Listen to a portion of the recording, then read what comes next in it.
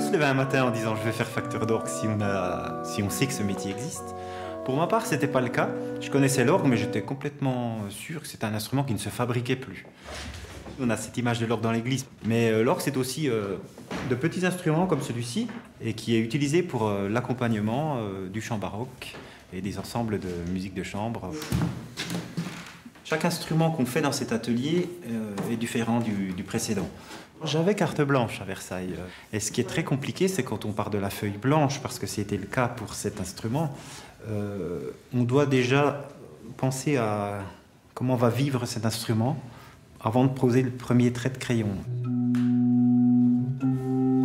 Donc tu partiras dos dos, puis tu montes comme ça jusqu'au phare. On est dessus depuis, euh, depuis le mois d'août. On a été à deux personnes en permanence dessus, et puis une troisième personne qui est venue se greffer euh, sur le dernier mois. Ouais. Souvent sur les orgues d'église, on voit les tuyaux en métal, en étain. Mais là, la demande était euh, la suivante, c'est que les tuyaux doivent être, euh, doivent être en bois. Et puis, ça apporte aussi une grande facilité pour accorder, pour accorder les tuyaux. On a un tampon qui se trouve au sommet du tuyau, qui est garni de peau de chèvre, et qui rend le tuyau complètement étanche. Et pour accorder, on fait coulisser ce, tampon le long du corps du tuyau. Donc là, j'ai une certaine note. Et si je descends, il sonne beaucoup plus aigu. Il faut connaître euh, tous les paramètres euh, sonores de l'instrument, ça c'est important. Et puis bah, pour le reste, évidemment, il faut très très bien maîtriser les métiers de l'ébénisterie.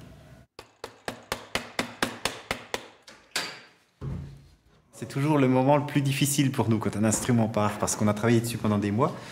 Alors on a vraiment euh, petit peu euh, cette tristesse de le laisser partir, euh, mais on sait qu'il sera entre de bonnes mains et puis qu'il va avoir une deuxième vie hein, hors de l'atelier.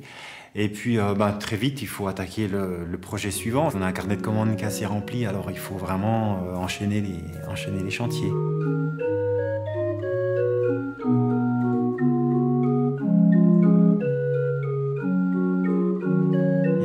Nouvelles choses à découvrir dans le monde entier, sur des instruments historiques, mais aussi sur les instruments que l'on crée euh, à l'heure actuelle. Donc en fait, c'est un métier qui n'aura jamais de fin.